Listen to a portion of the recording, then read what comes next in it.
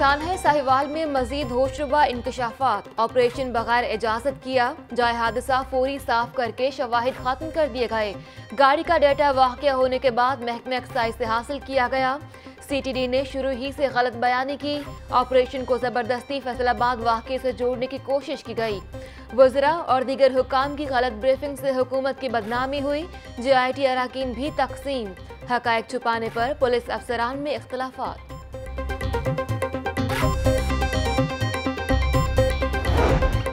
حمزہ شہباز نے سانحہ ساہیوال کو زندگی کا مشن قرار دے دیا۔ سانحہ ساہیوال میں ملوث افراد کو اسی چوراہے میں پھانسی دی جائے۔ یتیم بچوں کو انصاف ملنے تک حکومت کا پیچھا نہیں چھوڑوں گا۔ مقتول کے خاندان کو اسلام آباد کے سڑکوں پر خار کیا گیا۔ حمزہ شہباز کے لاہور نیوز سے خصوصی گفتگو۔ کہا، معصوموں کے آنسوؤں کا تقاضا ہے کہ جوڈیشل کمیشن بنایا جائے۔ سانحہ ماڈل ٹاؤن کے ذمہ داروں کا تعین بھی ضروری ہے۔ سانحہ ساہیوال جیسا واقعہ دوبارہ برداشت نہیں کیا جائے گا۔ فورسز ریڈ آپریشن کے دوران قانون کی پابندی کریں۔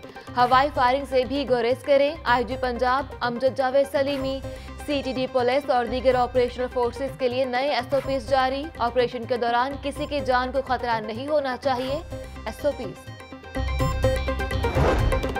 Orange train کے کنٹریکٹرز کو پیسوں کی ادائیگی کا معاملہ عدالت عثمہ کے احکامات پر عمل درآمد۔ ایل ڈی اے نے تفصیلات پنجاب حکومت کو جمع کرا دی چار کنٹریکٹرز کو سول ورک کے باسٹھ کروڑ ڈالر کا ٹھیکہ دیا گیا تھا۔ ایل ڈی اے کی رپورٹ۔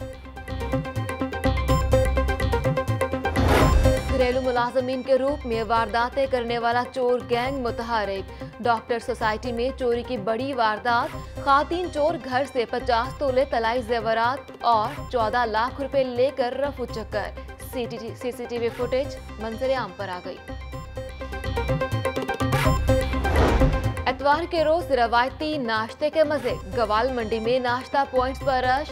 شہری بونگ پائے حلیم۔ نان چنے اور حلوہ پوری سے لطف اندوز ہونے لگے۔